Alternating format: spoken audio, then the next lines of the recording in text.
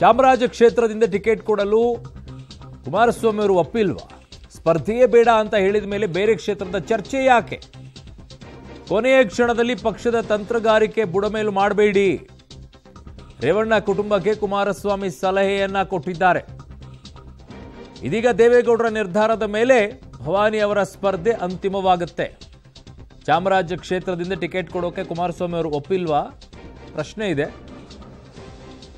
ಎಲ್ಲದಕ್ಕೂ ಕೂಡ ನೋಡಬೇಕು ಏನಾಗುತ್ತೆ ಅಂತ. ತಲೆ ಕೆಡಿಸ್ಕೊಬಿಟ್ಟು ಗೊಂದಲ ಸಾಲ್ವ್ ಮಾಡೋಣ ತಲೆ ಕೆಡಿಸ್ಕೊಬಿಟ್ಟು ಗೊಂದಲ ಸಾಲ್ವ್ ಮಾಡೋಣ ತಲೆ ಕೆಡಿಸ್ಕೊಬಿಟ್ಟು ಗೊಂದಲ ಸಾಲ್ವ್ ಮಾಡೋಣ ತಲೆ ಕೆಡಿಸ್ಕೊಬಿಟ್ಟು ಗೊಂದಲ ಸಾಲ್ವ್ ಮಾಡೋಣ ತಲೆ ಕೆಡಿಸ್ಕೊಬಿಟ್ಟು ಗೊಂದಲ ಸಾಲ್ವ್ ಮಾಡೋಣ ತಲೆ ಕೆಡಿಸ್ಕೊಬಿಟ್ಟು ಗೊಂದಲ ಸಾಲ್ವ್ ಮಾಡೋಣ ತಲೆ ಕೆಡಿಸ್ಕೊಬಿಟ್ಟು ಗೊಂದಲ ಸಾಲ್ವ್ ಮಾಡೋಣ ತಲೆ ಕೆಡಿಸ್ಕೊಬಿಟ್ಟು ಗೊಂದಲ ಸಾಲ್ವ್ ಮಾಡೋಣ ಹಾಸನದ್ದು ಅವ್ರಿಗೆ ಅಷ್ಟು ಟೆನ್ಷನ್ ಇದೆಯೋ ಇಲ್ಲೋ ಯಾರಿಗೆ ಗೊತ್ತು?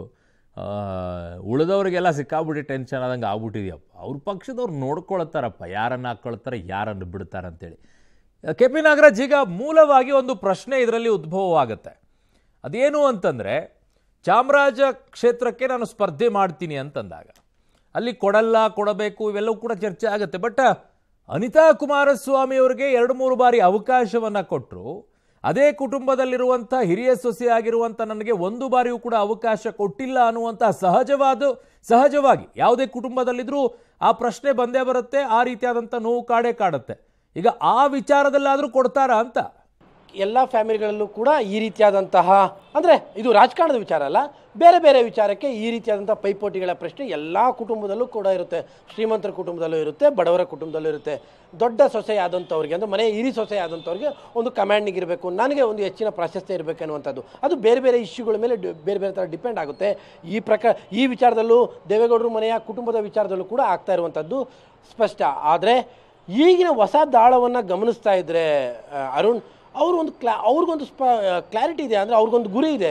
ನಾನು ಈ ಬಾರಿ ಸ್ಪರ್ಧೆ ಮಾಡಲೇಬೇಕು. ನಾನು ಸ್ಪರ್ಧೆ ಮಾಡ್ತೀನಿ ಅಂತ ನಿರ್ಧಾರ ಮಾಡಿಬಿಟ್ಟಿದ್ದೀನಿ. ಆ ದೃಷ್ಟಿಯಿಂದ ನಾನು ಮಾಡದೇ ಇದ್ದರೆ ನನ್ನ ಪ್ರತಿಷ್ಠೆಗೆ ಧಕ್ಕೆ ಆಗ್ಬಿಡ್ಬೋದು. ಅಥವಾ ನನಗೆ ಒಂದಿಷ್ಟು ಅವಮಾನಗಳು ಆಗ್ಬೋದು ಅನ್ನುವಂಥದ್ದು ಬಹುತೇಕ ರೇವಣ್ಣ ಅವ್ರ ಫ್ಯಾಮಿಲಿ ಅಂದರೆ ಭವಾನಿ ಅವ್ರಿಗೆ ಅನ್ನಿಸ್ತಾ ಇರ್ಬೋದು.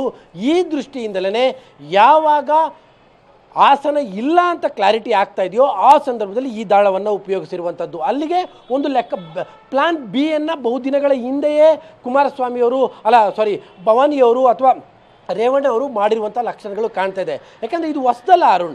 ಈ ಹಿಂದೆಯೂ ಕೂಡ ಒಂದು ಆರೇಳು ತಿಂಗಳ ಹಿಂದೆಯೇ ಈಗಾಗಲೇ ಹುಣಸೂರು ಕ್ಷೇತ್ರದಿಂದ ಭವಾನಿಯವರು ಸ್ಪರ್ಧೆ ಮಾಡ್ತಾರೆ ಅನ್ನುವಂಥ ಲೆಕ್ಕಾಚಾರಗಳು ಶುರುವಾಗಿತ್ತು. ಯಾಕೆಂದರೆ ಸ್ವತಃ ಭವಾನಿಯವರ ಪುತ್ರರ ಪ್ರಜ್ವಲ್ ಅವರೇ ಹುಣಸೂರಿನ ಹಲ ಹಲವು ಭಾಗಗಳಲ್ಲಿ ಓಡಾಡ್ತಾ ಇದ್ರು. ಹಾಗಾಗಿ ಅಲ್ಲೇ ಸ್ಪರ್ಧೆ ಮಾಡಿಬಿಡ್ತಾರೆ ಅನ್ನುವಂಥ ಲೆಕ್ಕಾಚಾರಗಳಿತ್ತು. ಮತ್ತು ಇನ್ನೊಂದು ಭಾಳ ಇಂಟ್ರೆಸ್ಟಿಂಗ್ ಅಂದರೆ ಅರುಣ್, ಇಲ್ಲಿ ಕಾಂಗ್ರೆಸ್ನಿಂದ ಪ್ರಬಲ ಆಕಾಂಕ್ಷಿ ಆಗಿರುವಂಥವ್ರು ಬಹುತೇಕ ಕ್ರಿಕೆಟ್ ಟಿಕೆಟ್ ಕ್ಲಿಯರ್ ಆಗ್ತಾ ಇದೆ ಅಂತ ಹೇಳ್ತಾ ಇರುವಂತಹ ಹರೀಶ್ ಗೌಡ್ರು ಏನಿದ್ದಾರೆ? ಹರೀಶ್ ಗೌಡ್ರು ರೇವಣ್ಣ ಅವರ ಕಟ್ಟ ಬೆಂಬಲಿಗರು. ಬಹು ವರ್ಷಗಳಿಂದಲೂ ಕೂಡ ರೇವಣ್ಣ ಅವರನ್ನ ಬೆಂಬಲಿಸ್ಕೊಂಡು ಬಂದಂಥವ್ರು. ಬದಲಾದಂಥ ರಾಜಕಾರಣದಲ್ಲಿ ಅವರಿವತ್ತು ಜೆ ಡಿ ಎಸ್ ಅನ್ನು ಬಿಟ್ಟು ಕಾಂಗ್ರೆಸ್ಸನ್ನು ಸೇರಿರ್ಬೋದು. ಆದರೂ ಕೂಡ ಈಗಲೂ ಕೂಡ ರೇವಣ್ಣ ಅವರ ಫ್ಯಾಮಿಲಿಗೆ ಬಹಳ ನಿಷ್ಠೆ ಇರುವಂಥವ್ರು. ಅವರಿಗೆ ಟಿಕೆಟ್ ಸಿಗುವಂಥ ಲಕ್ಷಣಗಳು ಹರೀಶ್ ಗೌಡ ಟಿಕೆಟ್ ಸಿಗುವಂಥ ಲಕ್ಷಣಗಳು ಕೂಡ ಕಾಣ್ತಾ ಇದ್ದಾವೆ.